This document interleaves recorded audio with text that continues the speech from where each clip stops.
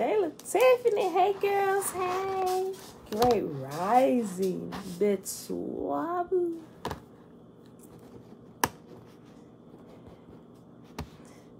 Everybody that's forgotten what Betswabu means, it's recognizing that you are the house of the Father.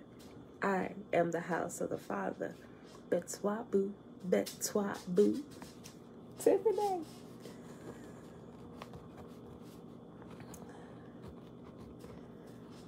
I'm, I'm trying to be better, y'all. I'm trying to yoke myself to discipline being here before the time I say I'm gonna be here. Like I said, like last year, I'm gonna be here five minutes early. Pray my strength in the Lord. no, seriously, no. I was like, you know what? We taking up a level. I gotta get better. I gotta quit. I gotta quit procrastinating in the mornings. I really do. That's just my truth. I be woke. I be woke most most mornings. I really do. I be up. Half the time, me and James be up talking, playing around. As I get done with my praying and stuff, because I be up early. Right. I'm trying to make sure I get dressed earlier instead of uh, waiting to the last minute to get dressed. Cause sometimes that, that's what happens. I'll be up, and then I'll I'll miscalculate my time, and uh. Then I'm rushing at the last minute. Oh shoot, I'm supposed to be live in three minutes. You know, and I'm trying to rush and get dressed. Yanata! Yanata. Shalom, brother. Good to see you. Good to see you. I've been checking out some of your stuff. I'm like, oh, let's get into it. Let's get into it. They ain't ready for it. I don't know. People be people be people be talking bad. I'm like, oh, this man is telling the truth. They just I, I wish they would just just get into it. Yo, so, yes, yes, yes. So, but I'm glad I I be excited about some of the stuff you gonna share. It I challenge you to always research more. I be looking at some of the stuff that y'all be saying over there. I'm like, you know what?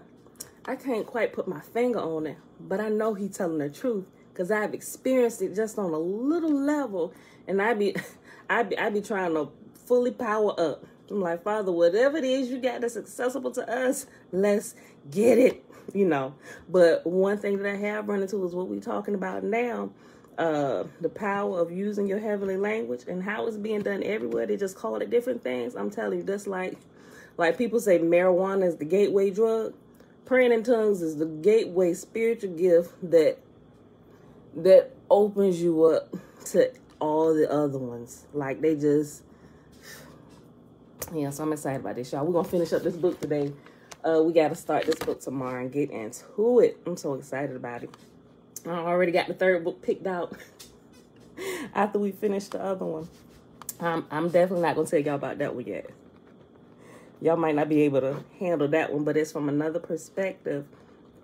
And it really gets in deep of what it is or what people would call esoteric. It's not really esoteric. And I think those are wrong words to put on it because it scares you away, especially if you from, come from the Christian standpoint, you know. So, but as I said, we're gonna we're gonna walk along this journey together. So by the time it's time for us to get into it, you at least stay long enough just to hear the matter out, right? I'd be so excited by this. Okay, y'all. Happy Thursday. It is December the 16th, 2021, day 329 of year three of reading through the books of the law and the prophets. Another three year consecutive three year consecutive they count. Day 997 y'all we're gonna read set not second. First maccabees. And we're only gonna do two chapters because they're so long. Uh chapter four and five. And then we're gonna finish up the rest of this little book jesus never existed right? Okay. So let's go ahead and do the Shema chapter. Yes, we are all learning. And it, it's an it's an exciting journey. It really is. Okay. Pull this up.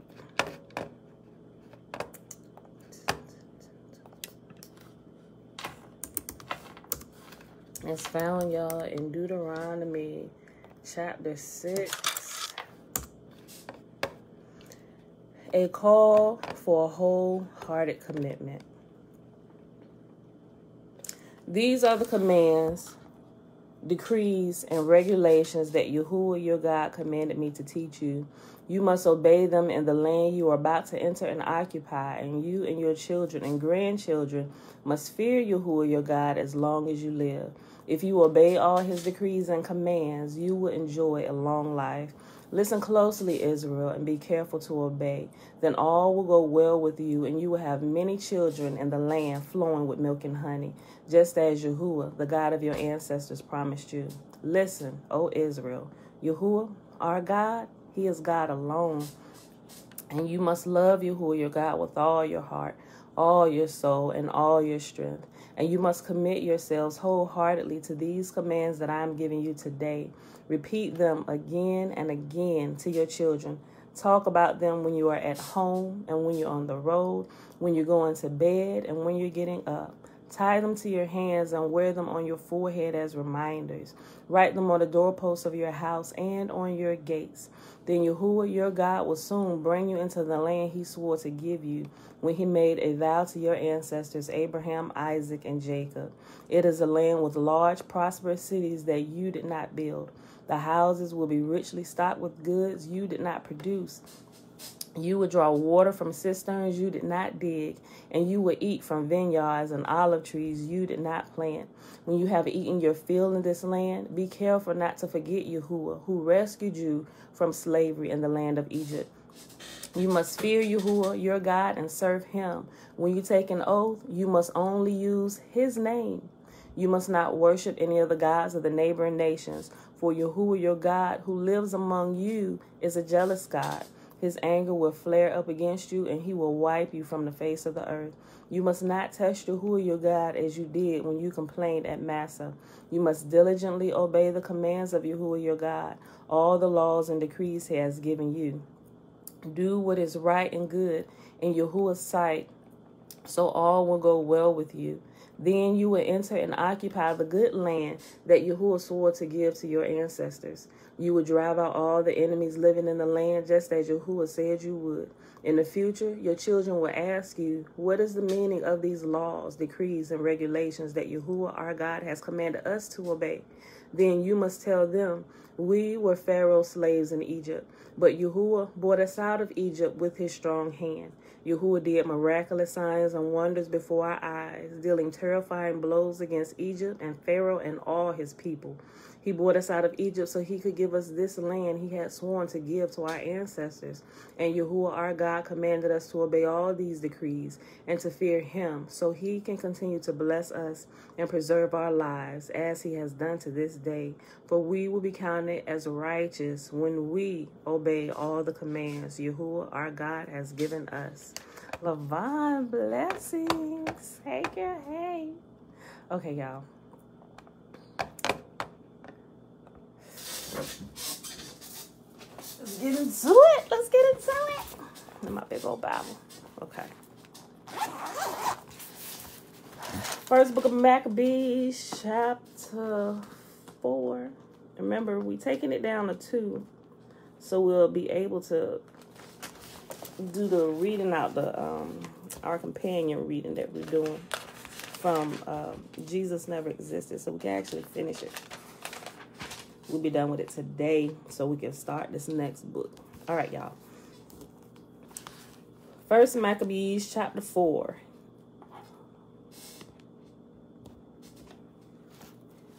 Then took Gorgias 5,000 footmen and a thousand of the best horsemen and removed out of the camp by night, to the end he might rush in upon the camp of the Yahudim and smite them suddenly and the men of the fortress were his guides. Now, when Yehuda heard thereof, he himself removed, and the valiant men with him, that he might smite the king's army, which was at Yemen.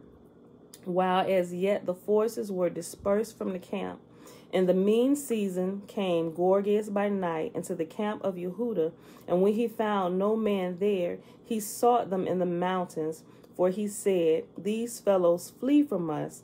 But as soon as it was day, Yehuda showed himself in the plain with three thousand men, who nevertheless had, had neither armor nor swords to their minds. And they saw the camp of the heathen, that it was strong and well harnessed, and compassed round about with horsemen. And these were expert of war. So remember, yesterday we found out that they ransacked Jerusalem, right? And all the holy ones, those who were actually keeping Torah, they fled to the mountains. Those ones that was half stepping already, or they was afraid for their lives, they they gave up Torah and they submitted to to the enemy and they decided that they was just going to violate Torah in order to, to keep their lives, right? So now Yehuda, him and the righteous men, is like, you know what, we'll fight to the bloody death, but let's go ahead and get out of here right now. But if they come for us, we're going to stand up to them, even if it's on the Sabbath, right? Because that's how the first lot of them got killed. Um, because the the enemy knew that they obey the Sabbath and they figured this would be the best day to attack them because they're resting and they don't violate their laws. And so when they came up against them and it was the Sabbath, they said, "You just gonna have to kill us because."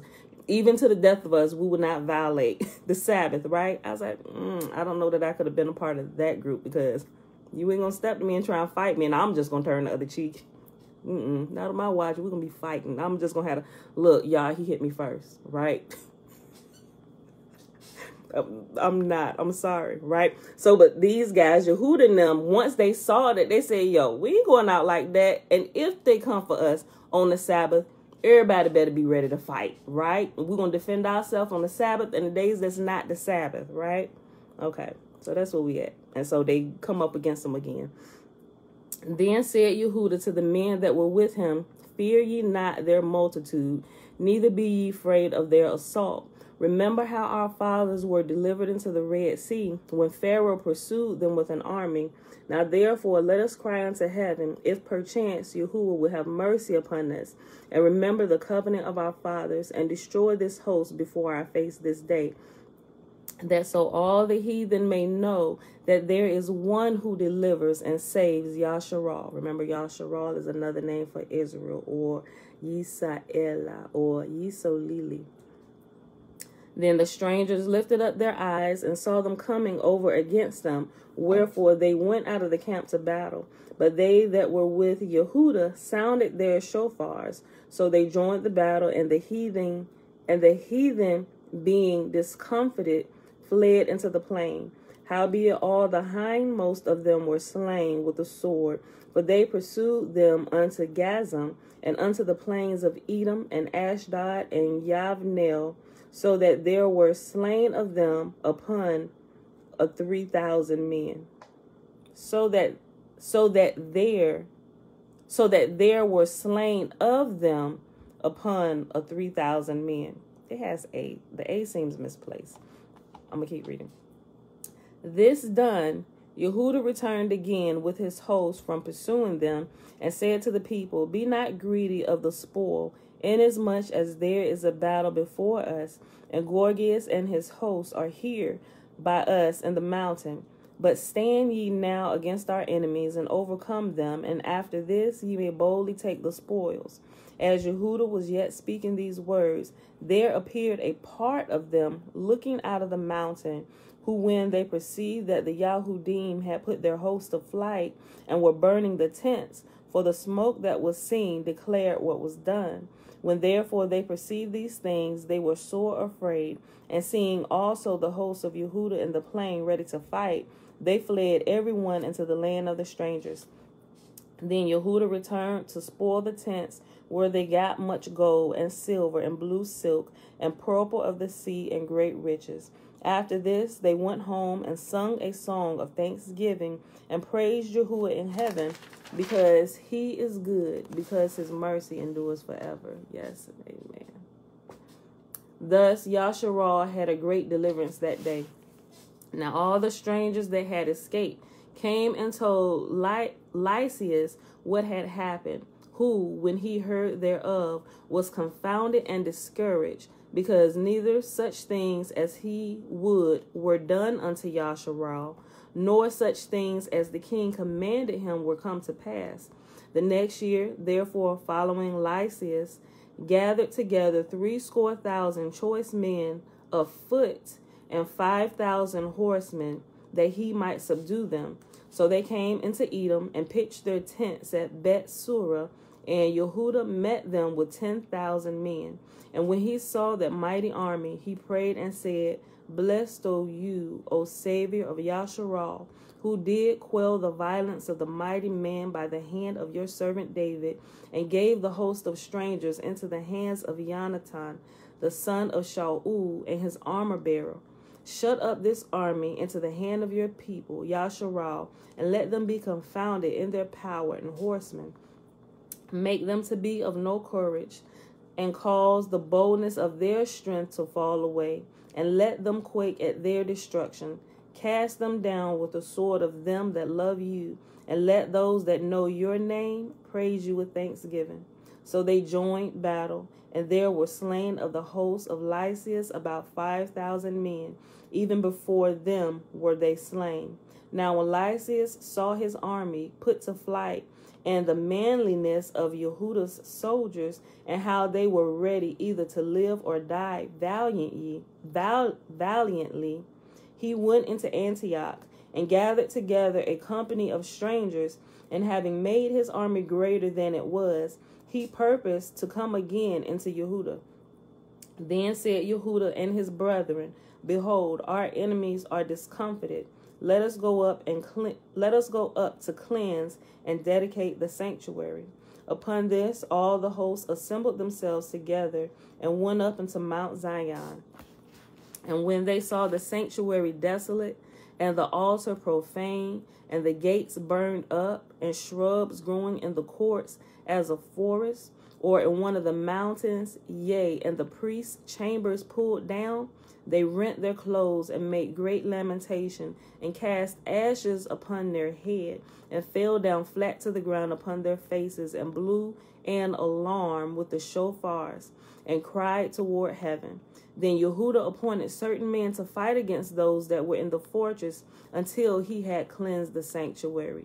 So he chose priests of blameless conversation, such as those that had pleasure in the Torah, who cleansed the sanctuary and bore out the defiled stones into an unclean place. And when they had consulted what to do with the altar of burnt offerings, which was profane, they thought it best to pull it down, lest it should be a reproach to them, because the heathen had defiled it. Wherefore they pulled it down and laid up the stones in the mountain of the temple in a convenient place until there should come a prophet to show what should be done with them. Then they took whole stones according to the Torah and built a new altar according to the former and made up the sanctuary and the things that were within the temple and hallowed the temple courts. And if you remember when we were reading through the Torah, remember how when Yahuwah said, when you make an altar unto him, that it shouldn't be of cut stones. Like, but you look at altars everywhere, even in church, they done chiseled stones and everything they doing inside the church is the complete opposite of what Yahuwah told them to do, right? They they specifically called this out according to the Torah, uncut stones, right? They got it and they just laid it and assembled it. They didn't put any kind of stone cutting, any kind of tool towards the stones. They left it untouched, right? Okay. I'll read that again, verse 46. And laid up the stones in the mountain of the temple in a convenient place until there should come a prophet to show them what should be done with them. Then they took whole stones according to the Torah and built a new altar according to the former and made up the sanctuary and the things that were within the temple and hallowed the courts. They also they made also new holy vessels into the temple. They brought the menorah and the altar of burnt offerings and of incense and the table. And upon the altar they burnt incense, and the lamps that were upon the menorah they lighted, and that they might give light in the temple. Furthermore, they set the loaves upon the table and spread out the veils and finished all the works which they had begun to make. Now on the five and twentieth day of the ninth month, which is called the month of Kislev, in the hundred forty and eighth year, they rose up early in the morning and offered sacrifice according to the Torah upon the new altar of burnt offerings which they had made. Look at what time and what day the heathen had profaned it, even in that was it dedicated with songs and cisterns and harps and cymbals. Then all the people fell upon their faces, worshiping and praising the Elohim of heaven, who had given them good success. And so they kept the dedication of the altar eight days and offered burnt offerings with gladness and sacrificed the sacrifice of deliverance and praise. See that? Just like it said in Psalm, like King David said, he offered the sacri- the the bulls of his lips as a sacrifice. Who said, "Stop killing my animals. I don't want that. Leave them alone. They did nothing to you." Right? He said, "Give me the bulls of your lips. Slaughter that animal. You. I want you. Right? Right here. Listen. This is what it said. And so they kept the dedication of the altar eight days and offered burnt offerings with gladness and sacrificed the sacrifice of deliverance and praise. They decked also the forefront of the temple with crowns of gold and with shields, and the gates and the chambers they renewed, and hanged doors upon them. Thus was very great gladness among the people, for that the reproach of the heathen was put away. Moreover, Yehuda and his brethren, with the whole assembly of Yasharal, ordained that the days of the dedication of the altar should be kept in their season from year to year by the space of eight days, from the five and twentieth day of the month Kislev, with mirth and gladness. At that time they also built up Mount Zion with high walls and strong towers round about, lest the other nations should come and tread it down as they had done before. And they set there a garrison to keep it and fortified Bet Surah to guard it, that the people might have a defense against Edom. Isaiah, shalom. Good morning, Auntie. Shalom, shalom. Belinda Brown. okay, y'all. Next chapter. First Maccabees chapter five. Now, when the nations round about heard that the altar was built and the sanctuary renewed as before, it displeased them very much Wherefore they thought to destroy the generation of Yaakov. Remember, Yaakov is another name. Well, it's translated Jacob, Yaakov. Wherefore they thought to destroy the generation of Yaakov that was among them, and thereupon they began to slay and destroy the people. Then Yehuda fought against the children of Esau in Edom at Arabatim because they besieged Gael, and he gave them a great overthrow, and abated their courage, and took their spoils. Also, he remembered the injury of the children of Bean, who had been a snare and and an offense unto the people, and that they lay wait for them in the ways. He shut them up, therefore, in the towers, and encamped against them, and destroyed them utterly, and burnt the towers of that place with fire and all that were therein. Afterward, he passed over to the children of Ammon, where he found a mighty power and much people, with Timotheus their captain. So he fought many battles with them, till at length they were discomfited before him, and he smote them. And when he had taken Yazar with the towns belonging thereto, he returned into Yehuda. Then the heathen that were at Gilead assembled themselves together against Yasharal that were in their quarters to destroy them, but they fled to the fortress of Dathamiah. I'm sorry, Dath Dathamah. And sent Sepharim unto Yehuda and his brethren, the heathen that are round about us are assembled together against us to destroy us, and they are preparing to come and take the fortress whereunto we are fled, Timotheus being the captain of their host. Come now, therefore, and deliver us from their hands, for many of us are slain. Yea, all of our brethren that were in the places of Toviyahu are put to death. Their women and their children also have they carried away captives and borne away their stuff and they have destroyed there about a thousand men. While these Sepharim were yet reading, behold, there came other messengers from Galilee with their clothes rent, who reported on this wise, and said, They of Akko and of Zor and of Sidon and Galilee of other I'm sorry, and all Galilee of other nations are assembled together against us to consume us now, when Yehuda and the people heard these words, there assembled a great assembly together to consult what they should do for their brethren that were in trouble and assaulted of them. Then said Yehuda unto Shimon his brother, Choose you out men, and go deliver your brethren that are in Galilee. For I and Jonathan my brother will go into the country of Gilead.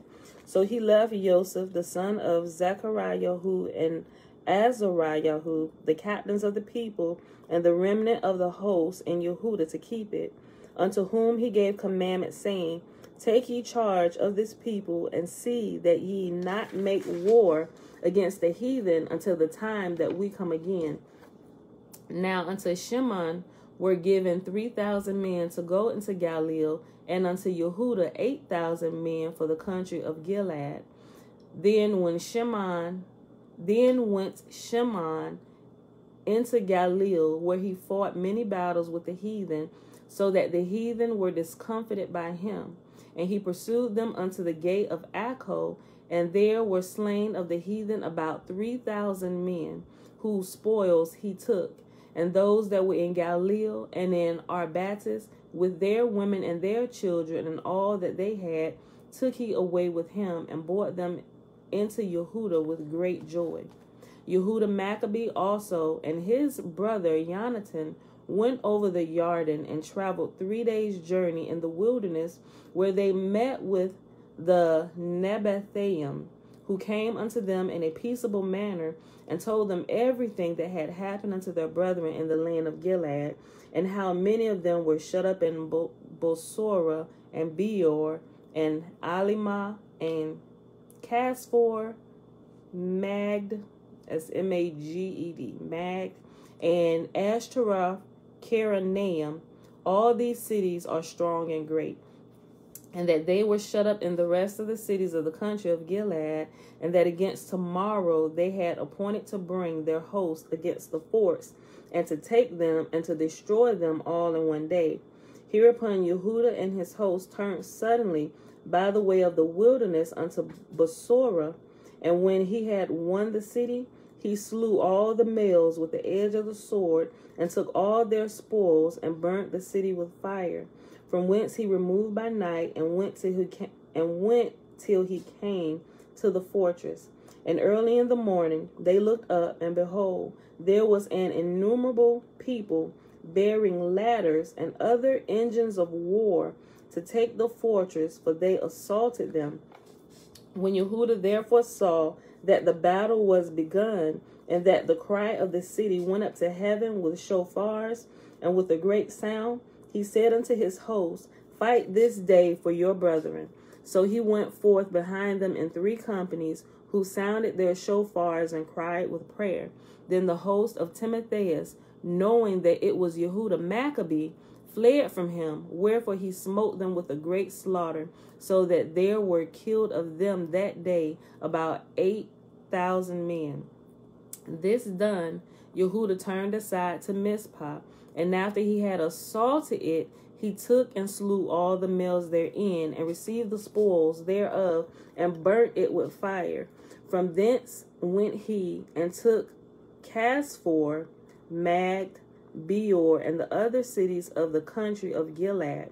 After these things gathered, Tim- after these things gathered Timotheus another host, and encamped against Raphon beyond the brook. So Yehuda sent men to espy the host, who brought him word, saying, All the heathen that be round about us are assembled unto them, even a very great host. He has also hired Avarim to help them, and they have pitched their tents beyond the brook, ready to come and fight against you. Upon this, Yehuda went to meet them. And then Timotheus said unto the captains of his host, When Yehuda and his host come near the brook, if he pass over first unto us, we shall not be with we shall not be able to withstand him, for he will mightily prevail against us. But if he be afraid and camp beyond the river, we shall go over unto him and prevail against him. Now when Yehuda came near the brook, he caused the scribes of the people to remain by the brook until unto whom he gave commandment, saying, Suffer no man to remain in the camp, but let all come to battle. So he went first over unto them, and all the people after him, Then all the heathen, being discomfited before him, cast away their weapons and fled into the temple that was at Asheroth Karanaim. But they took the city and burnt the temple with all that were therein. Y'all got to remember, the way that they looked at the temple, they figured this is a safe place. So when it's time to run, if we can't get away, just go into the temple, right? They they wouldn't dare burn it. They wouldn't dare. Oh, y'all messing with, with Judah Maccabee. No, burn it to the ground and everybody in it. Gil, shalom, Marie, shalom, shalom. Listen, hold on. So he went first over into them and all the people after him. Then all the heathen, being discomfited before him, cast away their weapons and fled unto the temple that was at Ashtaroth Karanaim. But they took the city and burnt the temple with all that were therein. Thus was Ashtaroth Karanaim subdued, neither could they stand any longer before Yehuda. Then Yehuda gathered together all Yasharal that were in the country of Gilead, from the least unto the greatest, even their women and children and their stuff, a very great host, to the end that they might come into the land of Yehuda. Now when they came unto Ephron, this was a great city in the way they should go, very well fortified. They could not turn from it either on the right hand or the left, but must needs pass through the midst of it. Then they of the city shut them out and stopped up the gates with stones. Whereupon Yehuda sent unto them in a peaceable manner, saying, Let us pass through your land to go into our own country, and none shall do any and none shall do you any hurt. We will only pass through on foot. Howbeit they would not open unto him. Wherefore Yehuda commanded a proclamation to be made throughout the host that every man should pitch his tent in the place where he was. So the soldiers pitched and assaulted the city all that day and night, till at the length of the city was delivered into his hands. Who then slew all the males with the edge of the sword, and razed the city, and took the spoils thereof, and passed through the city over them that were slain. That kind of sound familiar, right? That's what Israel did when it was in the wilderness. Remember, the wilderness wasn't just desert. It was other nations that they were passing through and some of them treated them the same way. They said, Let us pass through your land. I make sure none of my people, they harm none of your people. We ain't gonna eat your food. We we're gonna make sure our camels don't drink your water. We got everything that we need in the midst of us. And if anybody of our people, if, if they drinking in your water or eating in your food, we will recompense you for it. They said, No, find another way to go. Come on, you don't want no smoke with us. We we we just need to get right through here.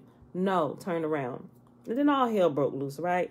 So that happened a couple times in the wilderness. So remember the wild it was like a wilderness of the people. You hear a lot of people talking about you who was gonna bring us back into the wilderness of the people. We could get into that, but we won't, right? But just think about where Israel was in the wilderness of the people as well, right? It wasn't just desert land. It was they were literally among cities of other people. How do we know that? Because Torah tells us about the different nations that they encountered while they were in the wilderness. I'm just saying. Sometimes we don't pay attention to what's right in front of our face. Okay. So the soldiers pitched and assaulted the city all that day and all that night till at the length the city was delivered into his hands, who then slew all the males with the edge of the sword and razed the city and took the spoils thereof and passed through the city over them that were slain. After this went they over the Jordan unto the great plain before Bet San. And Yehuda gathered together those that came behind and exhorted all the people all the way through till they came into the land of Yehuda. So they went up into Mount Zion with joy and gladness, where they offered burnt offerings, because not one of them were slain until they had returned in peace.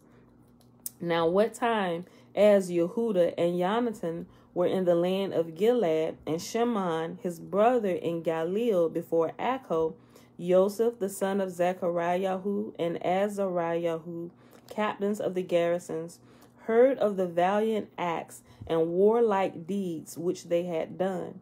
Wherefore they said, Let us also get us a name and go and fight against the heathen that are round about us. So when they had given charge unto the garrison that was with them, they went toward Yavanel.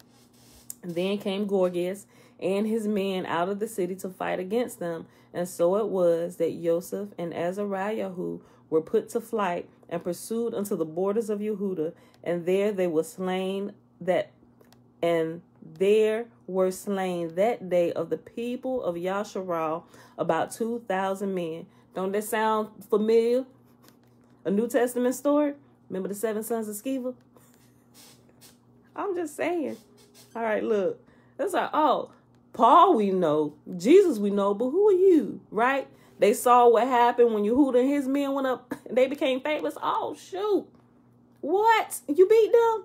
Come on, let's go. We're gonna go get us a name too. Uh Yehuda Maccabee we know, but who are you? And so it was that Joseph and Azariah, who were put to flight and pursued unto the borders of Yehuda, and there were slain that day of the people of Yasharal about two thousand men. Thus was there a great overthrow among the children of Yasharal, because they were not obedient unto Yehuda and his brethren, but thought to do some valiant act. Moreover, these men came not of the seed of those by whose hand deliverance was given unto Yasharal. Right? Y'all done got big head and got y'all tails toe off. Good enough for you. like my grandma say, good enough for you. Go sit your tail down somewhere. Howbeit, the man Yehuda and his brethren were greatly renowned in the sight of all Yasharal and all the heathen, wheresoever their name was heard of, so much so as the people assembled unto them with joyful acclamations. Afterward went Yehuda forth with his brethren and fought against the children of Esau in the land toward the Negev, where he smote Chevron and the towns thereof, and pulled down the fortress of it, and burned the towers thereof round about. From thence he removed to go into the land of the Philistines, and passed through Shamaron. At that time certain priests desirous to show their valor, were slain in battle, for that they went out to fight unadvisedly. So Yehuda turned to Ashdod in the land of the Philistines, and when he had pulled down their altars and burnt their carved images with fire and spoiled their cities, he returned into the land of Yehuda. And that is where we will pause today, my beautiful people.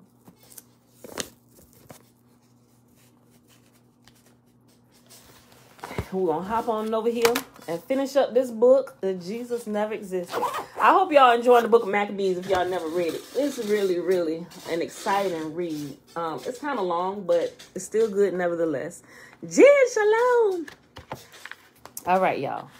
So we paused on page, got the page, we paused on page 90. And we should go to the end of this interview and finish this up. Let me have some references. Is it for references?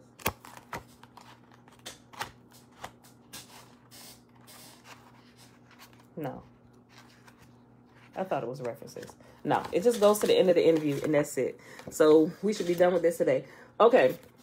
So I'm going to refresh you on a question that was asked. Remember, he was going through the time periods and he was asking him how did he see the, synchro- the, the synchronism happen over the years and throughout the religions and how they all began to mesh together and become like this this one thing right where all the religions are joined together. So here's the question.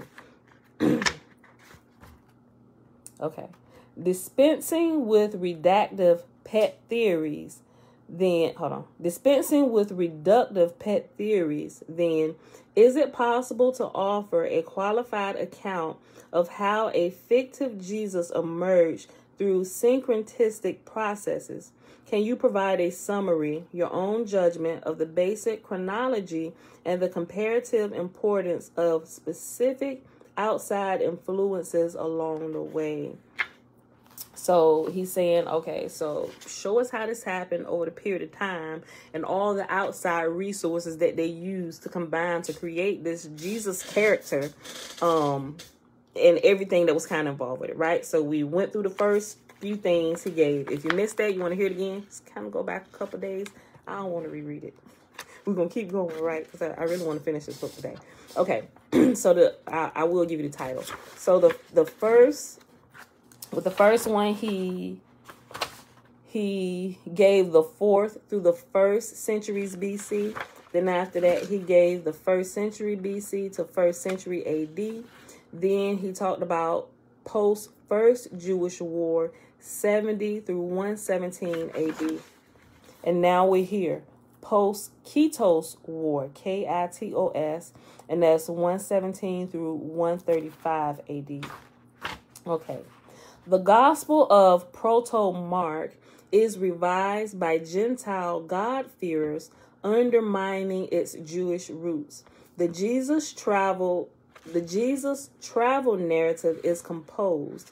The Elijah Elisha cycle, Homer's Odyssey, and early Mark, right? Those are the references whereby the road that Jesus traveled was pulled from Elijah, Elisha, Homer's Odyssey, the early book of Mark. Remember the early book of Mark that was composed is no longer there. It's a whole new different Mark that they're using in the um the New Testament. Find out more about that in Shakespeare's Secret Messiah and also Caesar's Messiah. It gives a lot of good details on that. With the failure of the kingdom of God to materialize and following a further disaster, the Kitos War 115 through 117, Mark is extended and revised into what will become Matthew with the addition of long didactic I'm sorry. With the addition of long didactic sermons. The text is no longer a play or understood as allegory, but purports to be history with Jesus the Nazarene historicized into Jesus of Nazareth. We're going to talk about that. Matthew emphasizes the root, the Jewish roots of the faith while attacking Jewish orthodoxy, which rejects the Christian innovations. The biography of Jesus is fleshed out by pagan borrowings, miraculous birth, resurrection appearances, you can find that in Matthew. Influenced by the pagan mystery cults, Christ becomes worthy of worship as a God. Celebrants now partake of the Lord's Supper, shared with the gods, the Lord Christ. Other borrowings, other borrowings include libations poured over a revered image, ceremonial perambulations with chanting and hymns. The Jesus Christ movement begins to begins the absorption of the baptism sectarians as events in the John the Baptist narrative. The next section, post bar, Koch bar war. Koch bar is C I'm sorry, K O C H B A R. Post bar Koch bar war. That's 135 and later second century. After another catastrophic defeat in war and faced with Roman appro, appro, appro, I'll look it up. Hold on. Opprobrium. I think it's opprobrium. Oppro, op, opprobrium. Yeah, let me just, since I didn't put it up.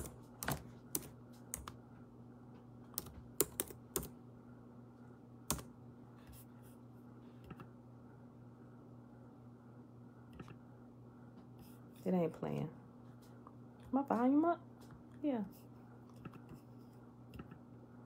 Uh, okay, well, spaced out. Op, yeah, opprobrium. Opprobrium means harsh criticism or censure. Okay.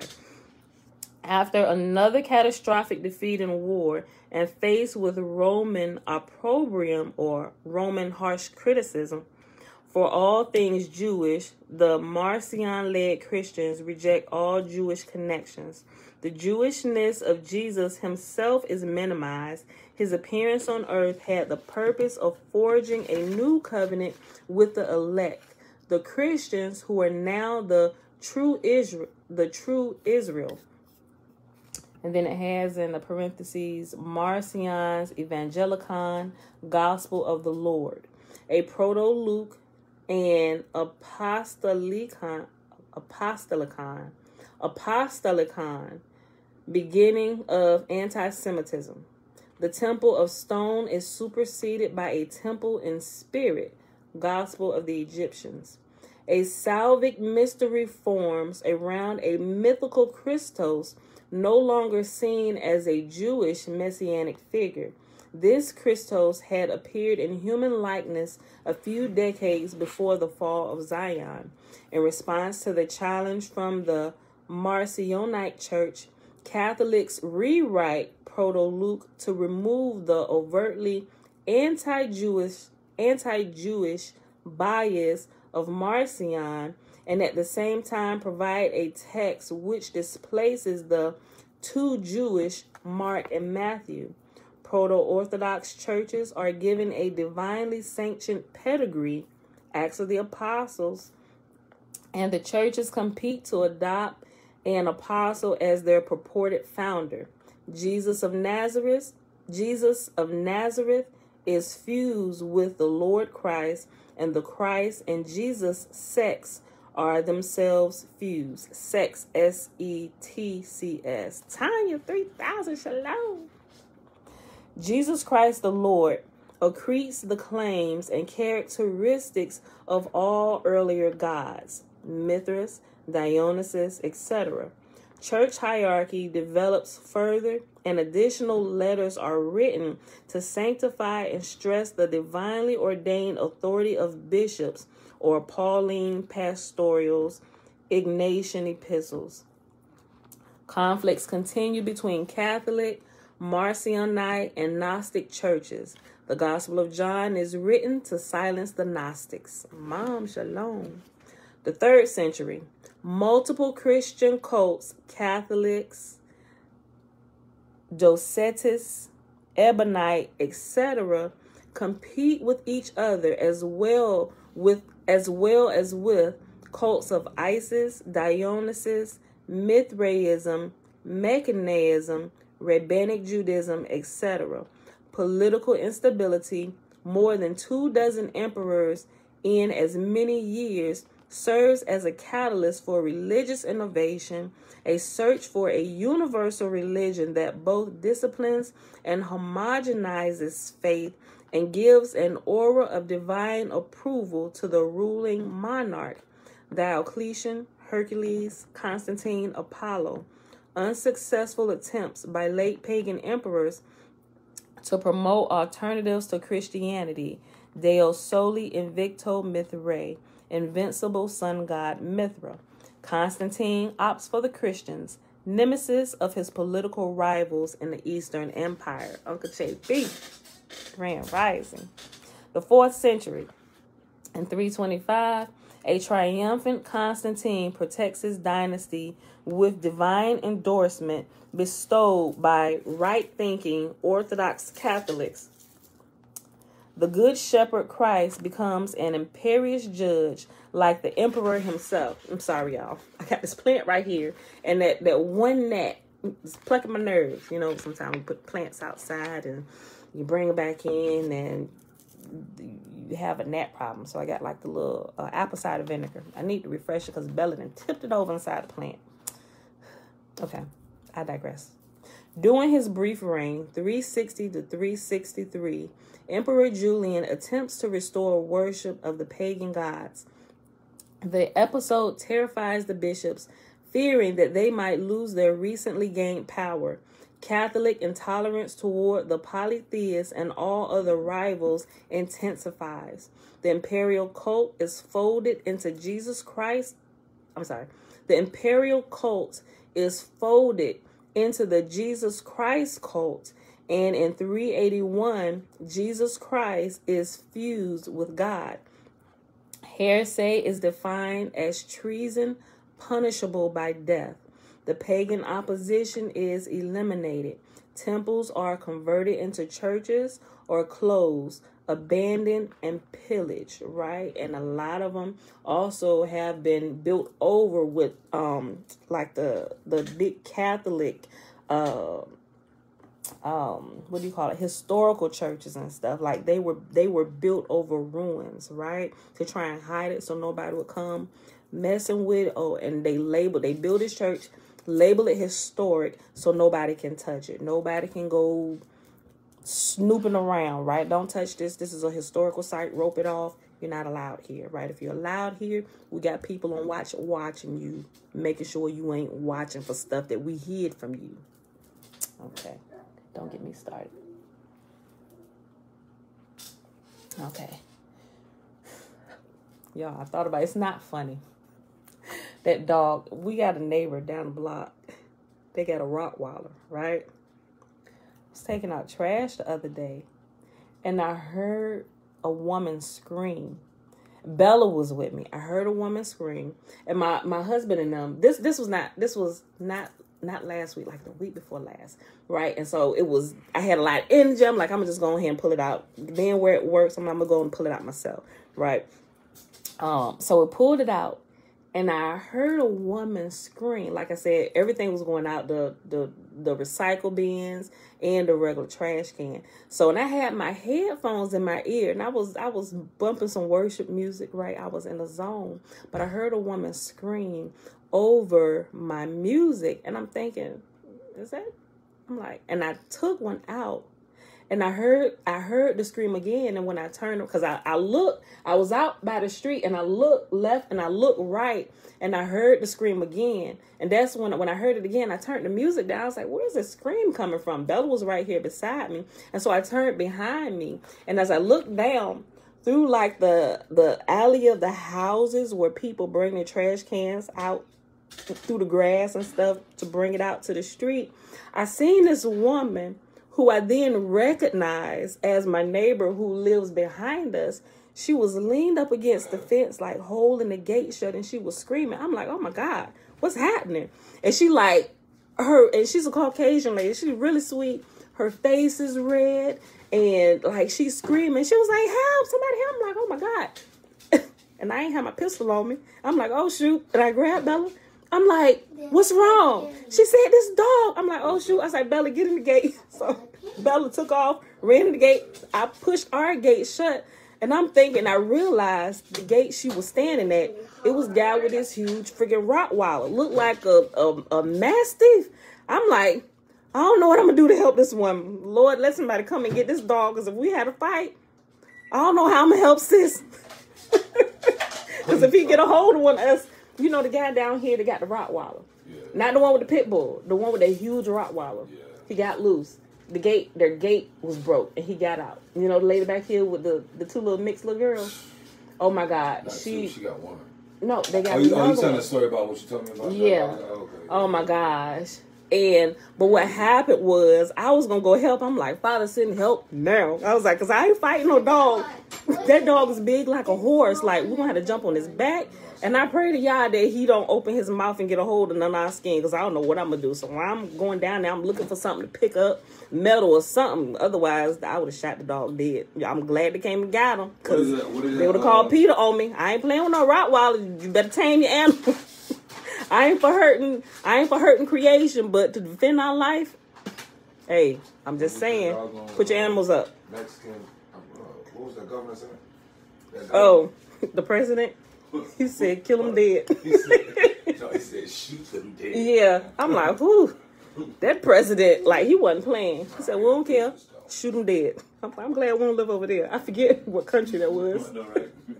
Um, but anyway, by the time I had got over there, the guy had come out and I bless y'all the man was home and he must have heard the screaming and stuff himself. You know, I had to make sure my baby was secure first, push the gate shut, boom. So if something pop off, I'm like, go in there, call Jeremiah, get in the gate, go get Jeremiah while we trying to figure out what's going on. So, but he got out, he got her. She about during there had a heart attack. You know, I felt so bad. She was shaking. I said, oh my God, oh my God. I'm like, oh, but I know that has nothing to do with reading today, but I heard the dog. It was a big bark. Y'all probably heard it, but it reminded me of that story. So I'm glad the man showed up and they got that gate fixed. People always remember tragic. Oh yeah, you remember traumatic things, right? Yeah, it's like indelibly, indelibly imprinted on your mind, right? But when you know that about how the mind works, you can use it on purpose. Like you forget everything else except things that are like extremely exciting, get your emotions going, or something that's really tragic. If something happened to you that was really tragic when you was one or two, you're gonna remember it, right? Because it's almost like a snapshot, Talk about that. and it's it's it's snapshot in your brain because you fused emotions with um, that thing that was going on, right? And it keeps it locked in there and it keeps it accessible to you.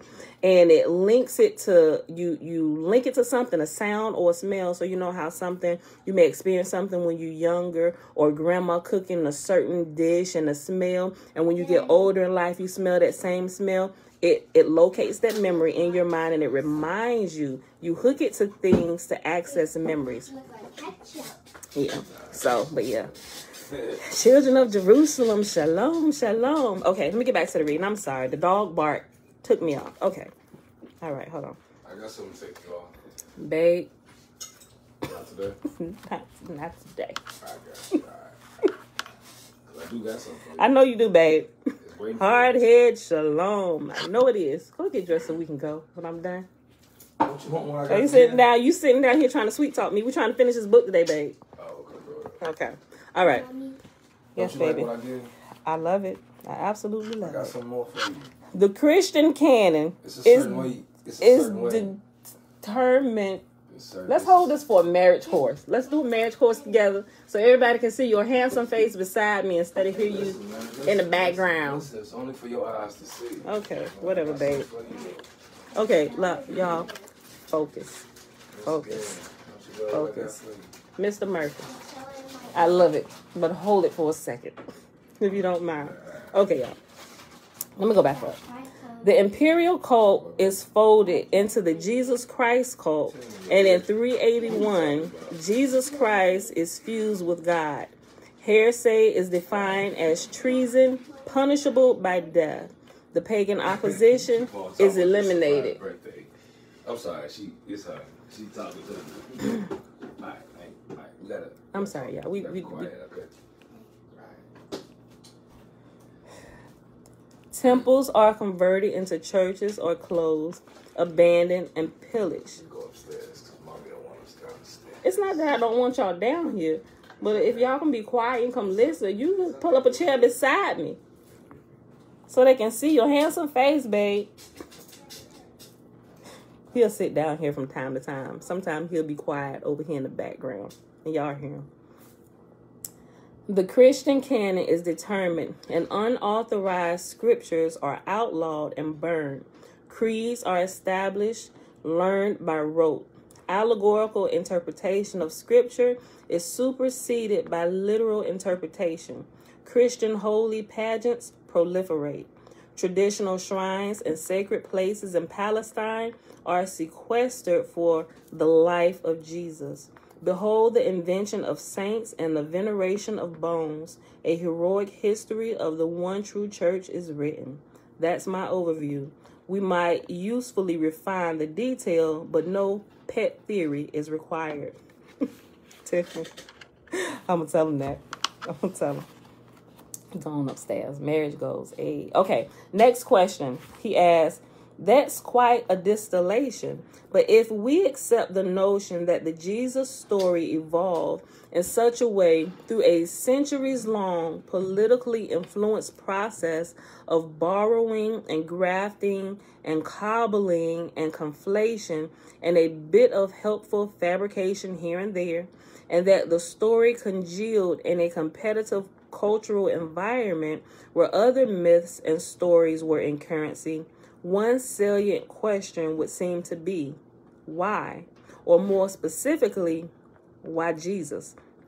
What was the appeal of the synthesized Christ narrative that carried such lasting resonance that it would come to be codified while other myths were being swept aside? Is it possible that the dominance of one story can ultimately be understood as a stochastic phenomenon, as a chance event like a lottery pick or a mutation? Were the early apostles and subsequent editors just better admin? Or should we consider deeper cultural, psychological, or even philosophical factors to account for the ascent of Christianity over, say, Mithraism? Did the Jesus story scratch a particular, perhaps innate human itch in some way that contending myths did not?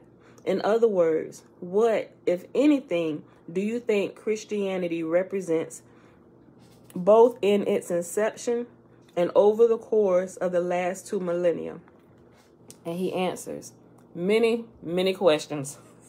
But let's address the central issue. Let's address the central issue here. Why did the Jesus Christ cult succeed and the others fail? No, its triumph was not the result of random chance or, heaven forbid, because Christianity had a superior philosophy. The truth is more mundane. Let's first of all remember that during the second and third centuries, Christianity was no particular success at all. For one thing, Christianity existed in a number of localized variations.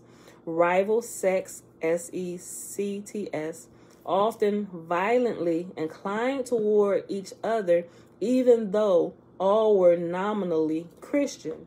The movement had no widespread support, and the evidence we have suggests that, for example, both Mithraism and Judaism were gaining momentum. But when we hit the third century crisis within the empire, particularly in the second half of that century when the Augustan system collapsed, two emperors died at the hands of Rome's enemies. There was in there was indiscipline of the troops and chronic inflation. There were incursions of northern barbarians as far south as Spain and Anatolia. There was the sack of Antioch by the Persians and the breakaway of the Gallic and Palm, Palmyrene sub empires. Faced with such anxiety inducing perils, the Imperium needed something both to protect itself and to enforce loyalty across the empire. So, why did Christianity, with its Jesus, fit the bill? It was both authoritarian and adaptable. The bishops, having secured for themselves divinely ordained command over their communities, emerged as powerful figures acting outside the imperial system. The church itself had become a state within the state, providing its own bread and circuses. As the church matured, so did its wealth and ambition grow. It increasingly detached itself from purely paro- parochial loyalties and presented itself as a universal or Catholic salvation. It could readily shift its command centers as politics required from Alexandria to Antioch, from Rome to Constantinople. In doctrinal terms, Catholic orthodoxy, in particular, was utterly opportunistic. In the cause of gathering its flock, it would forgive any crime, absorb any pagan motif. In operational terms, again, Catholicism was was ruthlessly pragmatic and able to preach simplicity, poverty, and the virtue of suffering to meet the masses, yet simultaneously glorify and sanctify any imperial extravagance. The polytheists and philosophers might have put up a better resistance to such a fanatically ambitious and self serving creed, but they were slow to recognize its dangers. When they did so, the imperial household had already embraced the Christian formulas that they found so useful. Oh, oh yeah, we are at an hour. Yo, I want to finish this. Okay.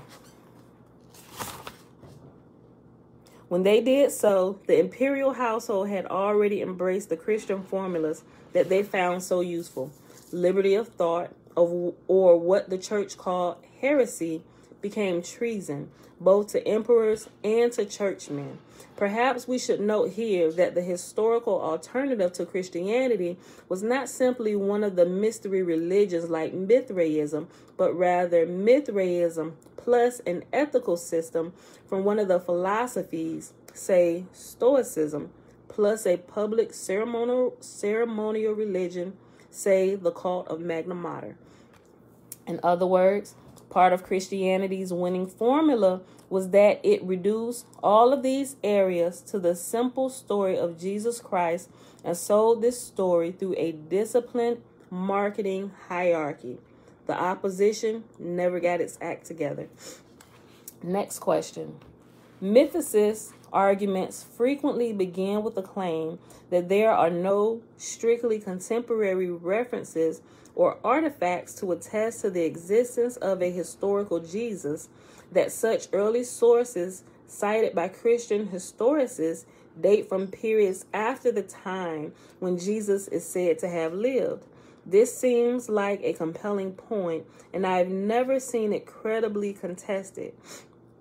At the same time, one might plausibly push back by asking whether it is reasonable to expect to find contemporaneous source material given the dearth of primary documentation that has passed down from antiquity. What, in your view, is the significance of the no contemporary evidence claim? Couldn't the same line of argument be leveraged to argue against the historical status of other figures from the same period, applying the same standard? Can we really be sure that, say, Pontius Pilate existed? His answer An interesting choice. Pontius Pilate. First, we have references to Pontius Pilate in ancient literature.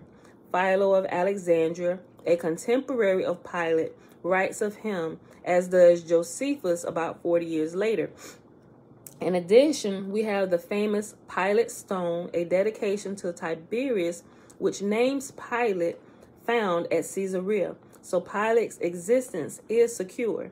But with Jesus, we are on much thinner ice. Philo, a prolific writer on religion, has nothing to say about Jesus, and the notorious paragraph in Josephus naming Jesus the Christ is universal is universally acknowledged to have been tampered with. The Gospels themselves are late in terms of providing witness statements, and in order to finesse away this embarrassment, Christian apologetics has invented a new species of witnesses the near witness, so the greatest event in all of history, is argued by comparison to the lateness of copies of Homer, Caesar, etc. The believer is asked to accept the reasonableness of testimony written by many decades after the supposed events by unknown authors in unknown places who were not themselves witnesses. Yes, it's true that copies of pre Christian literature are sparse, but then Christian book burning has a lot to answer for. Jesus' artifacts. Through the dark centuries of Christendom, Jesus' artifacts were everywhere his milk, teeth, his tears, his blood, his crown of thorns, etc., etc. The only trouble, as we all now realize, was that all this evidence was fake, fabricated by the church to fill the gullible with awe. Would a real historical person have needed fabrication on such an industrial scale?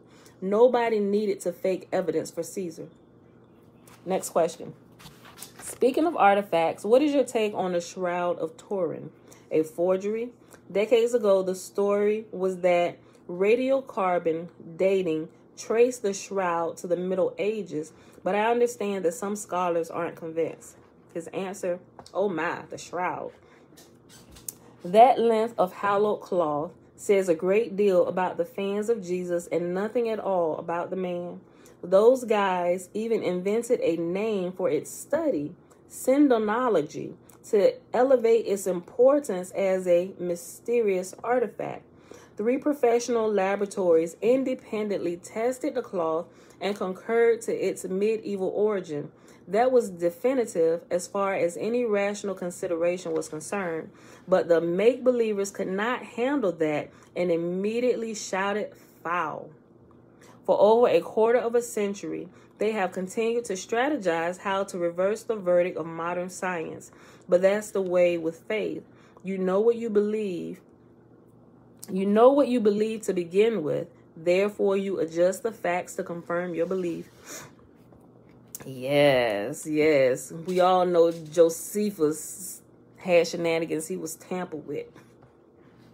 Okay. Next question. we almost done. Y'all, if y'all gotta go to work, go on, get out of here and render unto Caesar what is due unto Caesar. I ain't on Caesar's time. I'm Caesar.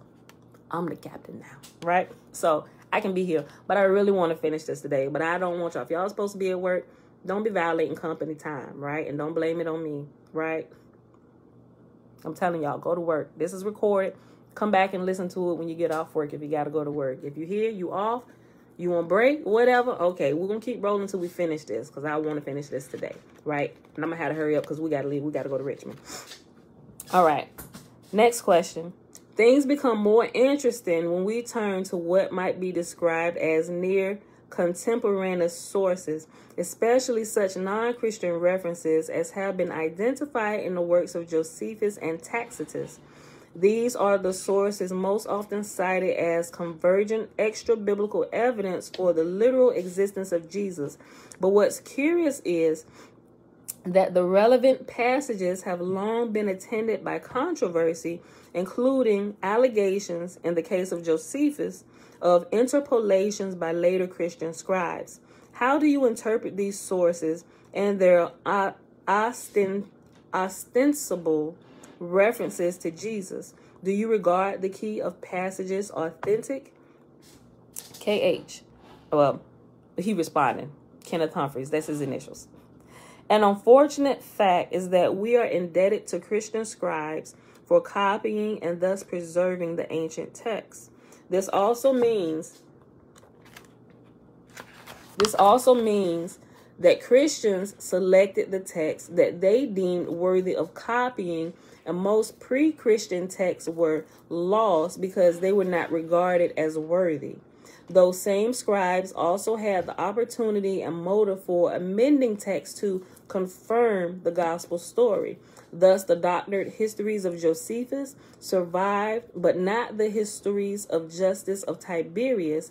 The amended history of Tacitus survived, but not the critical works of Christianity from Celsius and Porphyry. Thus, extra biblical material Thus, extra biblical material does nothing for the case for, for a historical Jesus. In the paragraph in Josephus's Antiquities, the interpolation is crude and obvious. The Tacitus passage is more polished, but still a fraud.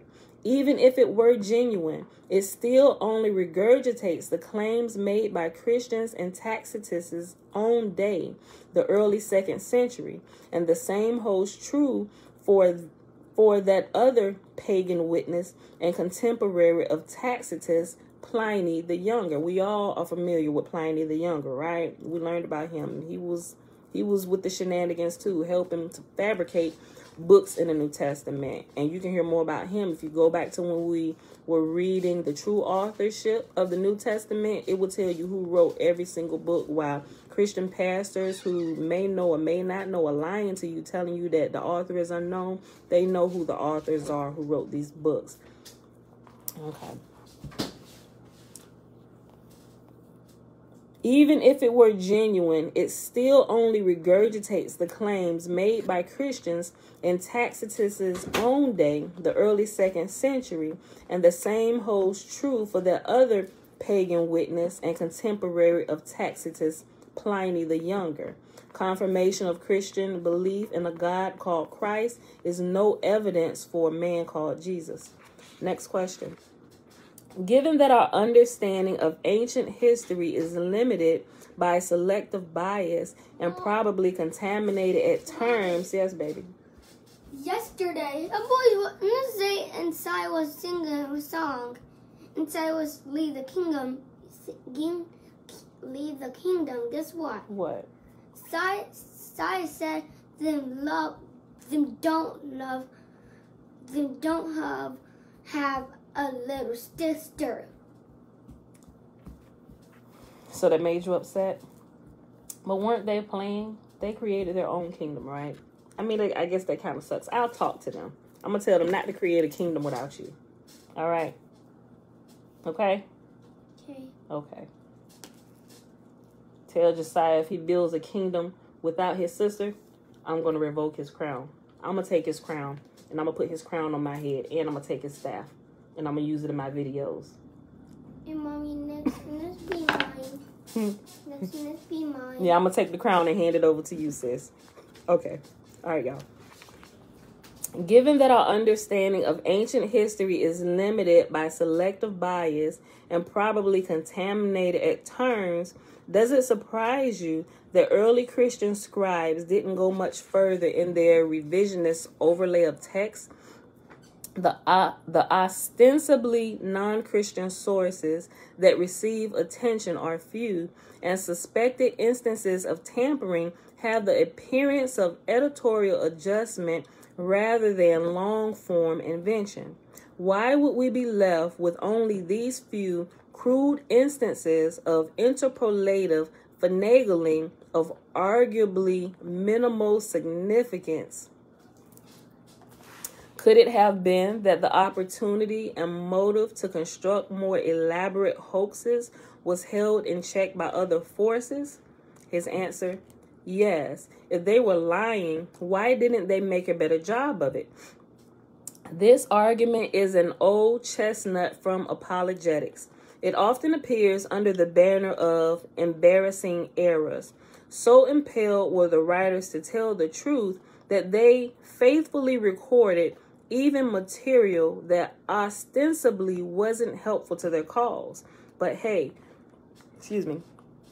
But hey, their honesty shows they can be trusted.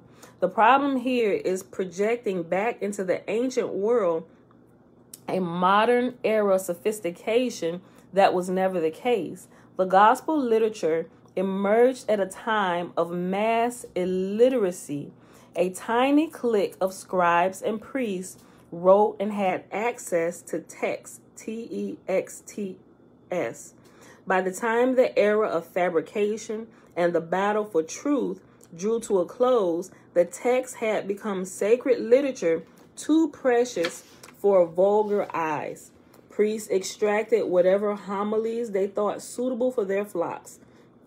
The pagan philosophers finally woke up to the danger that an intolerant orthodoxy posed and that prompted the first century of falsified history. But by then, the church was triumphant and could silence its critics by physical methods. The masses were read, the masses were read to. They enacted authorized pageants. They were overawed by imagery. Who was left to question the veracity of Holy Scripture? There was no need for more ambiguous forgeries. Relics provided all the evidence that was ever needed. Only a thousand years later, when the system became so corrupt that it exploded in the Reformation, did the sacred text become more widely available, and that's when critical scholarship began.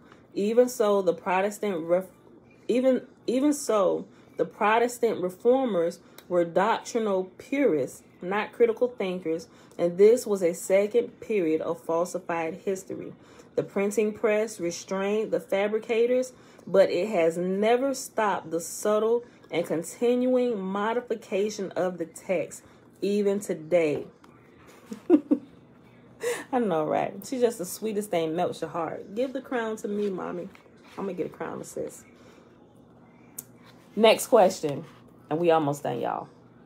This may be a bit of a tangent, but I noted that the criteria of embarrassment and difficulty are curiously cited as evidence for historical Jesus in a review essay devoted to the documentary film Zeitgeist, that Tim Callahan, a secular Bible scholar, wrote for Skeptic magazine. It might be useful to get your response. To frame the issue, here is a relevant excerpt which I will quote at some length. Okay, so here's the portion that he pulls out. I'm going to repeat it. Quote We can imply the existence of a historical Jesus from the criteria of embarrassment and difficulty. The criterion of embarrassment says that people do not make up embarrassing details about someone they wish to revere. So, if they say such things about the person, they are probably true.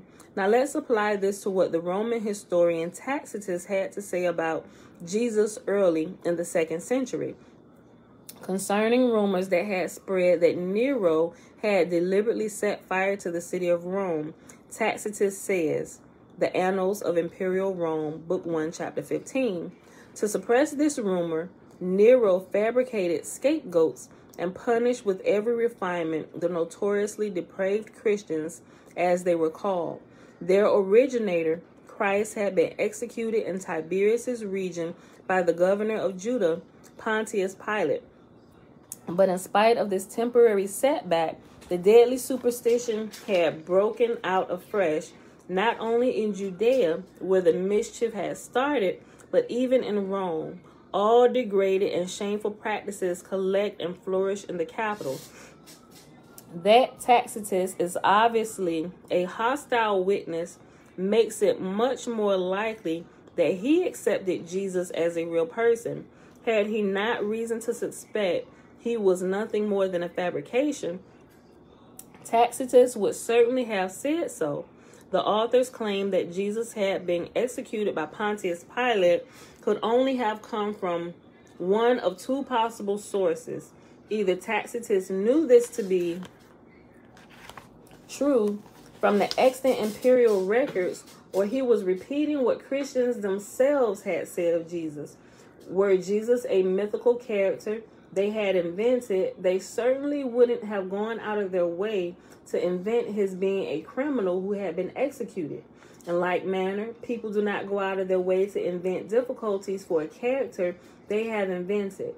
It is clear from the nativity narratives of the Gospels of Matthew and Luke that they were faced with having to explain why Jesus grew up in Galilee if he was born in Bethlehem. Both Gospels had to invent rather convoluted means to get Jesus born in Bethlehem according, in accordance with the messianic prophecy in Micah chapter 5, verse 2. Then get him moved to Nazareth. Clearly, they were stuck with a real person known to have come from Galilee when he should have come from Bethlehem. Had they been making Jesus up out of the whole cloth, they would simply have said he came from Bethlehem. End of story. No complications. So the evidence for Jesus as a real historical personage, though meager, is solid. End quote. And so that's what he's asking him. He said, I want your take on this passage right here. There was a whole passage. So he read it, and then he says, Before you respond, let me emphasize a couple of, of contextual points. First, Callahan's appraisal of what he considers to be a meager yet solid line of interpretive evidence is offered in the pages of a magazine, Skeptic, that is explicitly devoted to the critical evaluation of paranormal and supernatural, including theistic claims. Second, the specific context of his assignment of his assessment. Again, a critique of an outlandish documentary, a documentary, documentary tends to cast the mythicist position in unflattering light as a kind of fringe obsession as opposed to a species of legitimate skeptical inquiry. A two part question follows. First, what do you make of Callahan's interpretation? Second, what's going on here? Do you find it curious or perhaps convenient that the mythicist argument should be framed in this way as a kind of crackpot nostrum? In other words, why isn't skeptic more skeptical? Is this kind of framing part of what you refer to as the new apologetics? His answer There are a number of points of confusion here, so we need to unpack Callahan's argument step by step.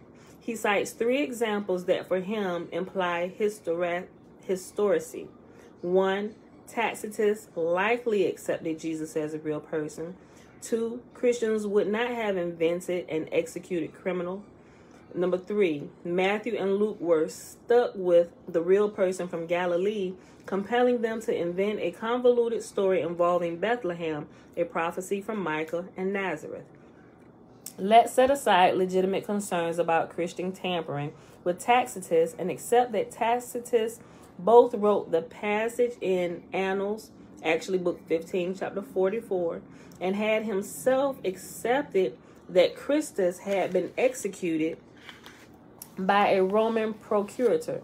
Imperial archives would never have provided Tacitus with such an inconsequential snip of information about an unknown bandit in a marginal sub providence 80 years earlier. The information could only have come from Christians of Tacitus' own day.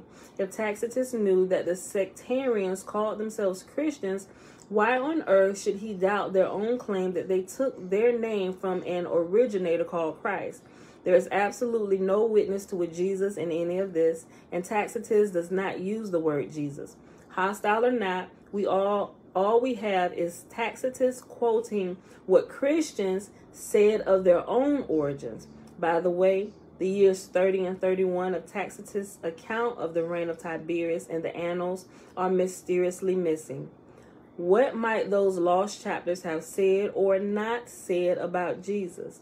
Did Christian scribes have a reason to destroy them? In an earlier work where the historian wrote specifically about Judea, in a 6,000 word essay beginning with various theories about the origins of the Jews and ending with the siege of Jerusalem by Titus, and you can find that in the Histories in Book 5, not a single word speaks of Christ, Christians, or a religious revolution. In fact, of the time of Jesus, Tacitus wrote simply, in Tiberius's reign, all was quiet. Know also that the controversial passage in the Annals uses the word scapegoat because the notion of scapegoat sacrifice was well established within Judaism. The Christians took that notion and gave it their own spin, a sinless man sacrificing himself for the sins of others. So you really have to be careful in arguing what would or would not have been embarrassing to the original Christians. In fact, the criteria of embarrassment is a pretty feeble and much overused tool. Taken to extremes, it would mean that the more fantastical the claim, the more authentic it must be. Take the specific example given here of a real person from Galilee. Mark's Jesus the original was a sectarian, not a resident of Galilee. Jesus the Nazarene. Mark felt under no compunction at all to have his Jesus born in Bethlehem or anywhere else for that matter. It is Matthew's revision of Mark that introduces an auspicious birth in Bethlehem. For that birth, Mary and Joseph do not inconveniently live in Galilee, but very conveniently live in Bethlehem. Yes, Matthew does have a convoluted story, but that story actually works in the other direction, contriving wise men, Egypt, and an unknown prophecy to move the Holy Family into, not away from Nazareth. So we are left with Luke who sat down and wrote a story and was supposedly compelled to use one fact a real person known to have come from Galilee. This is nonsense. Known to whom? It wasn't even known to Mark or Matthew. In reality, Luke had before him at least two earlier versions of the Jesus story Mark's and Matthew's, which he rewrote, redacted, and extended with additional fictional elements of his own. And Luke does not refer to Micah. Quite why skeptic Callahan should conclude that this amounts to a meager but solid evidence is beyond me. It certainly is meager, but it is far from solid. But one thing I've noticed among some sections of the of the skeptical atheist community is a quite tenacious attachment to their own Jesus, who is of course a rational humanist just like themselves. Some, I'm sure, want to use this nice guy Jesus as a critic of the church, and others battling against God just do not want to open up a second front and appear extreme. Next question.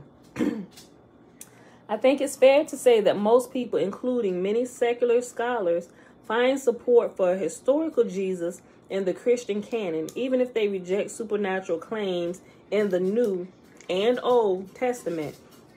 You have written extensively about how the gospel accounts of the life of Jesus can be understood as essentially fictional narratives. But before we address specific problems and questions, it might be useful to know what, if any, historical value you assign to the primary literature of Christianity. What is your view of the Bible as history, or more liberally, as a particular lens through which history can be interpreted? I'm really trying to push this, y'all. I'm gonna answer this question.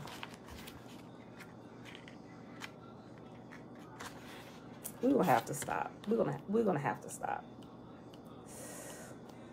Cause it's gonna take me.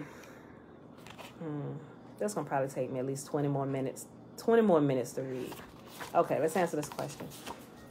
The New Testament books are extremely important source material from an early date. But a source of what? Not first century events, but second century beliefs and didactic material about the first century. They tell us a lot about what early Christians believed, argued about, and would have others believe, and that is very important to our understanding of Christianity's origins.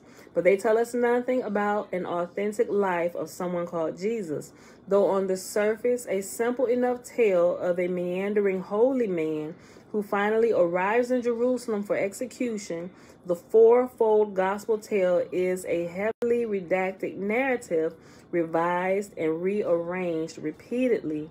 New Testament scholarship is essentially about recovering the primary material before it went into the blender. Because overwhelmingly, scholars drawn into this field have been believers, always always the assumption has been that a real Jesus lies beneath the many layers of artifice, no matter what scholarship reveals. But the evidence does not point to a real man at all. Remove the miraculous and plagiarized element from any of the Jesus stories, and what do you have? A man strolling about. Such a figure is quite redundant to a tale of hope and salvation. Jesus had no more existence than any other ancient god. Next question. Of course, the process of recovering primary Christian source material has been complicated at times, perhaps most profoundly by the discovery of the Nag Hammadi corpus about which so much has been written in recent years.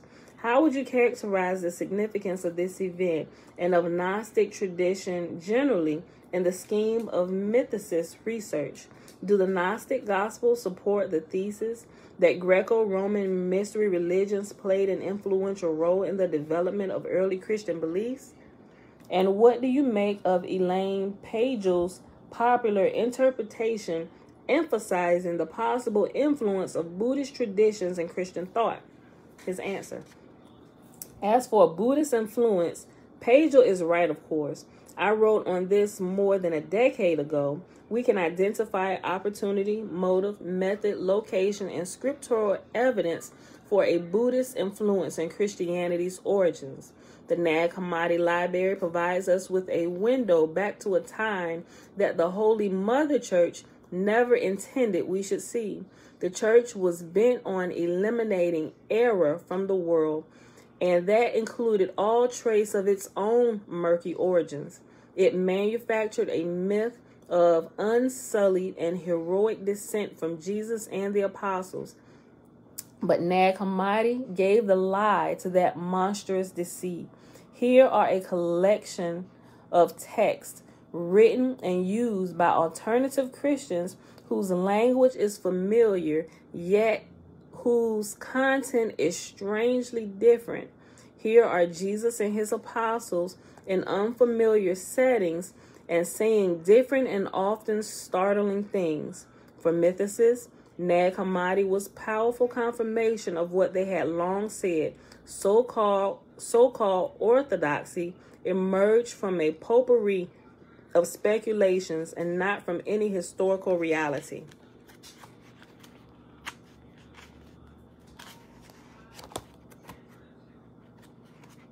Let me see how many more questions. We got one, two, three, four, five.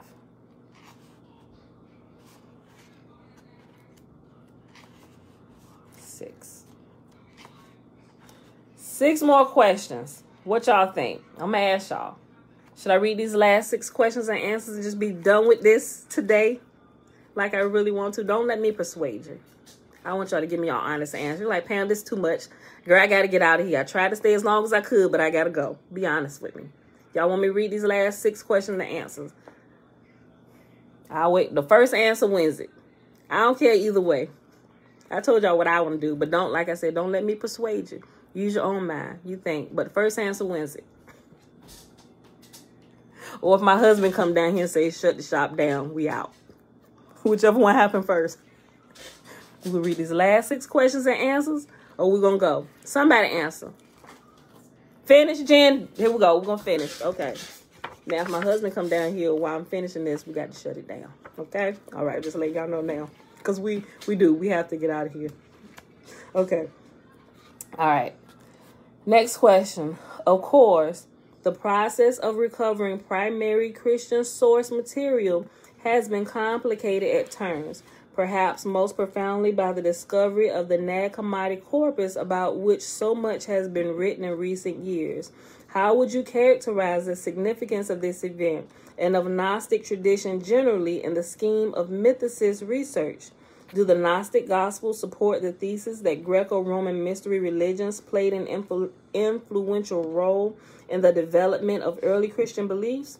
And what do you make of Elaine Pagel's? Hold on. No, I'm sorry. I just we just read that one. All right. In light of the emergence of such comparative Christian literature, it is interesting to return to the four canonized Gospels, if only to puzzle over the editorial process by which certain stories were chosen over others. With the extant pieces laid out, do you think we can arrive at an understanding of what church councils were trying to achieve when they sanctioned and incorporated some narrative accounts of the life of Christ to the exclusion of others? I should admit that I have this naive or maybe just cynical notion that it might have played out somewhat like we would expect in a modern Hollywood studio, with executives greenlighting certain projects that are anticipated to yield a higher box office return. Also, why do you suppose we end up with four gospels instead of just one authoritative biography? KH, his answer. There are two aspects here the editorial selection and redaction of certain Jesus stories, and the inclusion or exclusion of entire books in the approved canon. Church councils were primarily concerned with the latter, together with the imposition of church discipline. It is, of course, the case that so called heretics had their favorite books, and within those books, Jesus stories that supported their beliefs. The very fact that the church was able to hold councils in the second and third centuries, that is well before it gained legal status, proves just how bogus is any claim that there was any widespread, serious, or sustained persecution.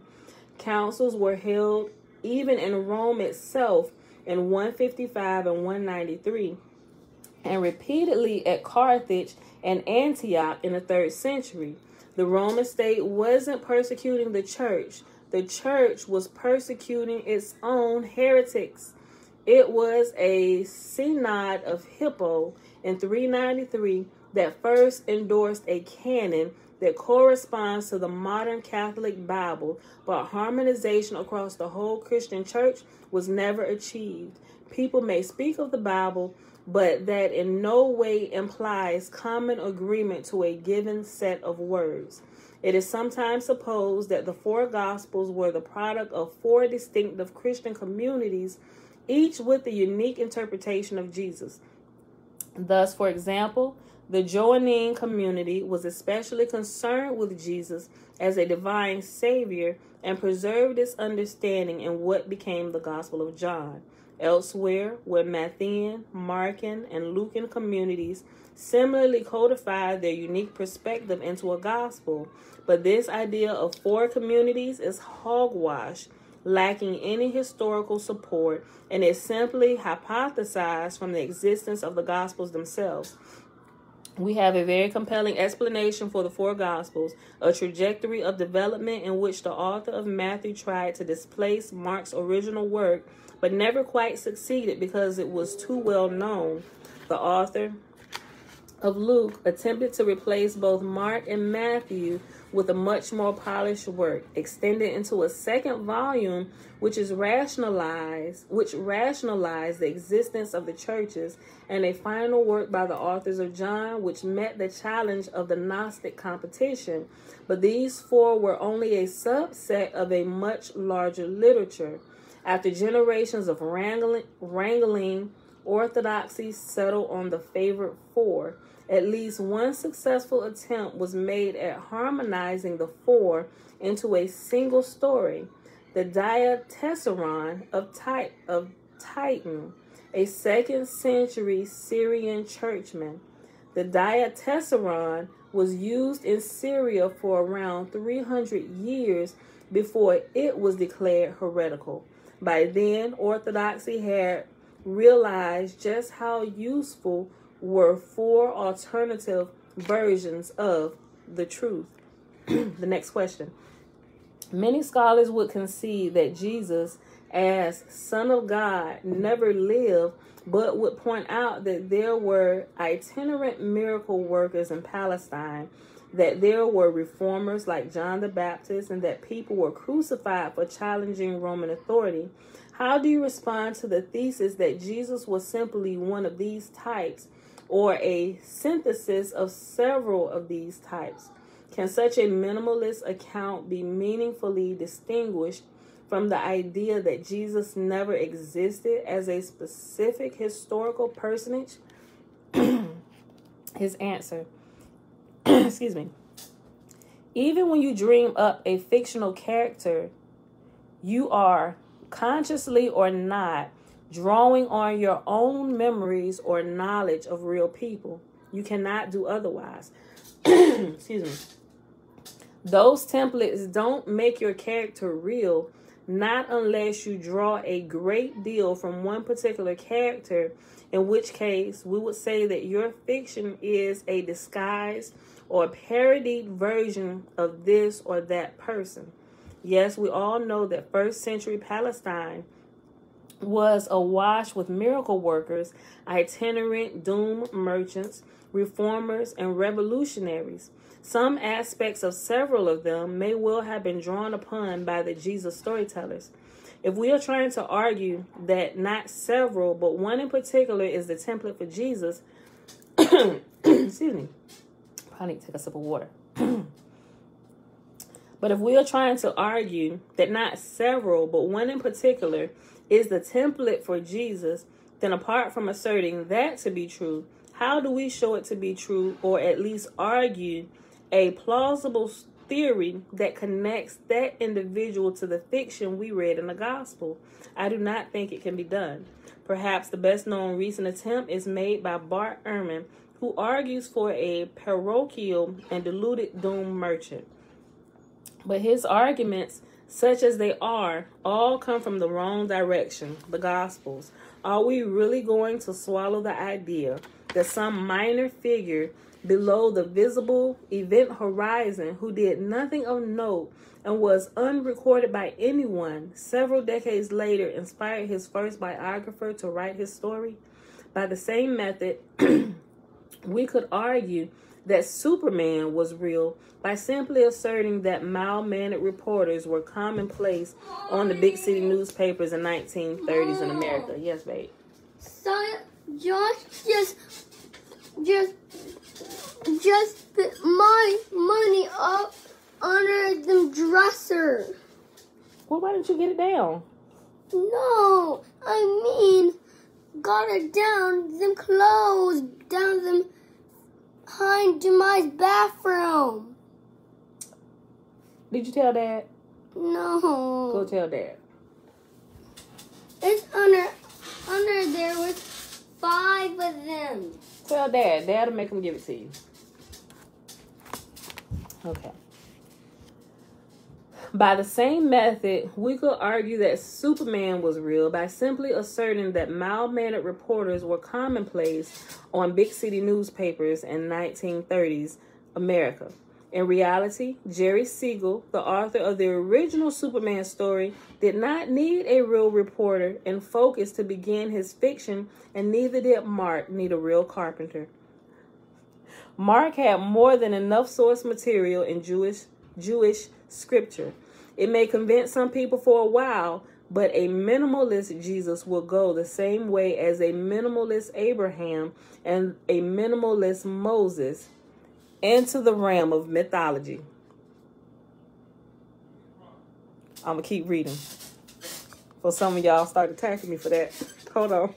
I start asking questions, but we're gonna get into it. We're gonna be able to separate truth from error, people, and stories and analogies from real life, because we can test, right? Don't beat me up about it when we get to it. Y'all definitely ain't ready for that yet. I'm just telling you. That's why we got to take it up a level so you can get yourself sensitive to the spirit of y'all So he can let you know, yes, my child, this is true. Right? Listen. Next question. Skepticism about the existence of a historical Jesus has been formally articulated since at least early 19th century when Strauss and Bauer published their respective treatises laying much of the foundation for the critique that continues today. Yes, baby. Okay. What's wrong? my money back. Give. Where is it at? plus dad called you. Dad just called you. Go ahead. Go, Josh. You go when you come out of the bathroom. Go tell Dad what what y'all did with her money. How did she even have five whole dollars? She had two. She got money like y'all got money. Me and Dad give her money. Don't just assume because she got more cash in her pocket than y'all may have that she that she shouldn't. We gave it to her. Go. Go up there. Go go talk to your father.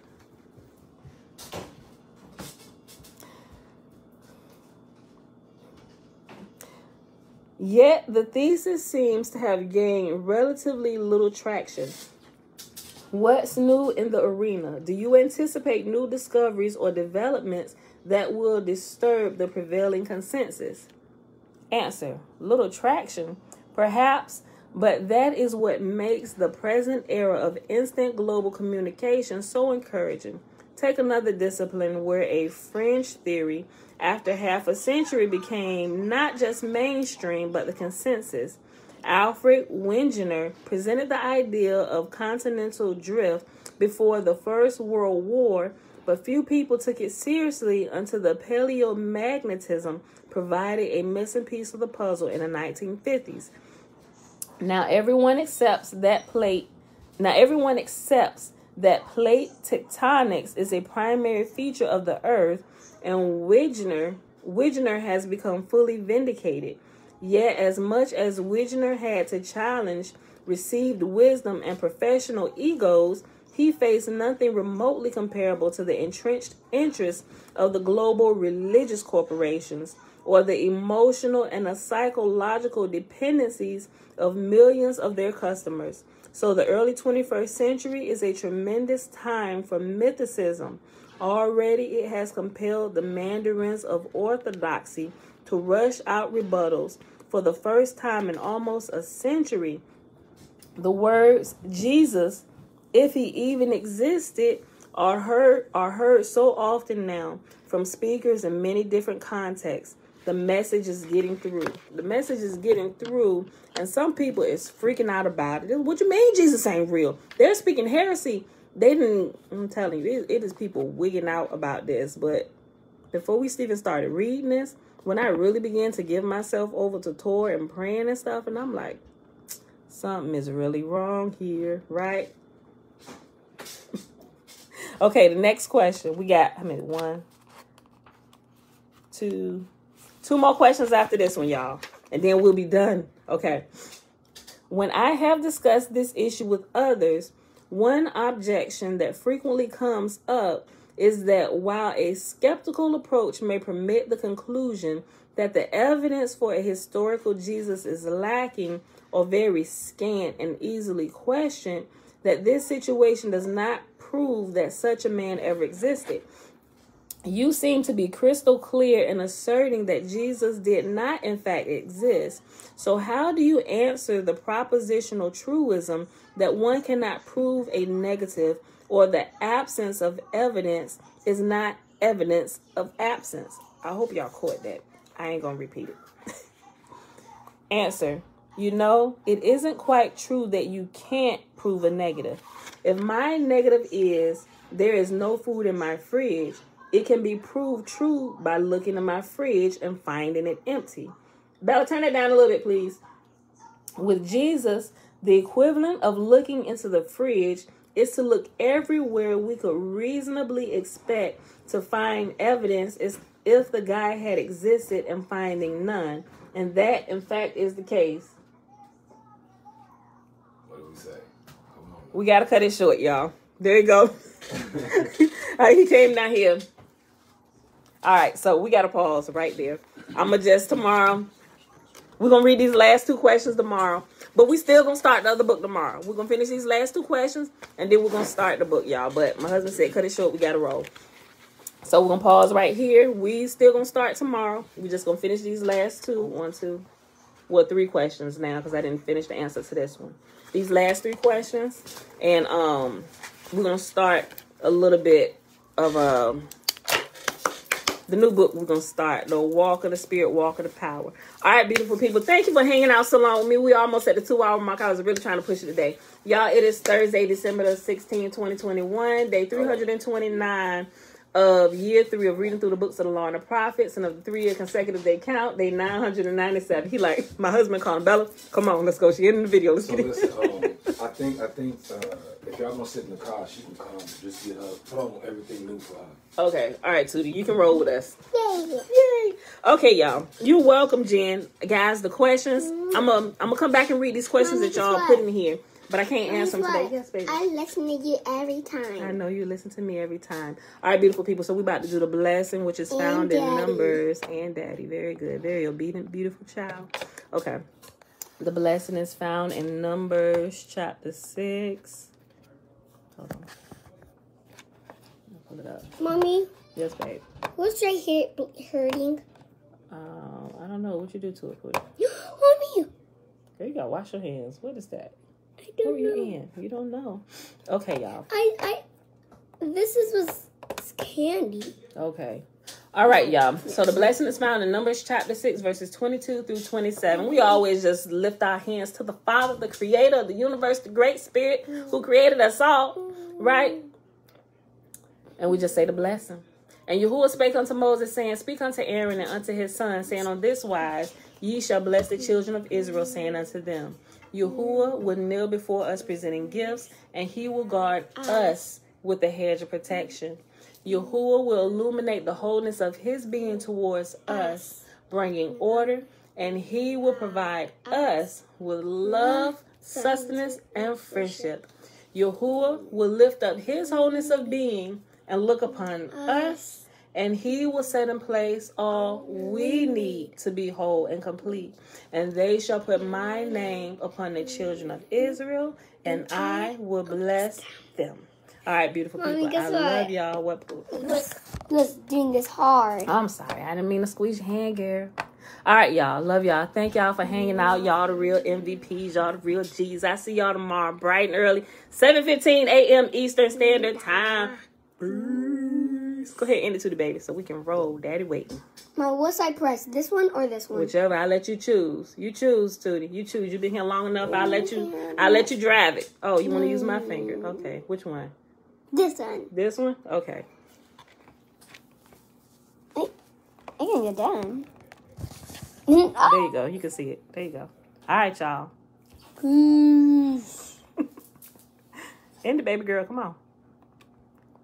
She ending y'all first today, Facebook. Sorry. I mean, YouTube.